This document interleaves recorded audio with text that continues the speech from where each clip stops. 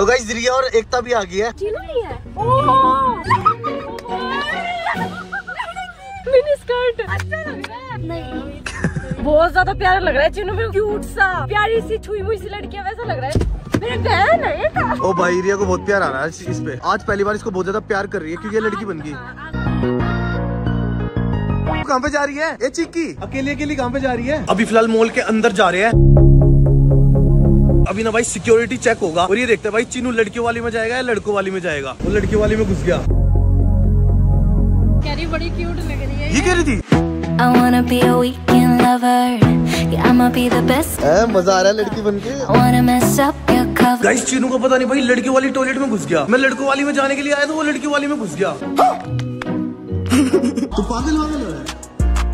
ये गलत बात है। देखिए लड़की वाली टॉयलेट में घुस गया था। तू लड़का है ना तूने गलत किया ये। इसका भागने का तरीका देखो। लड़कियों की तरह चल।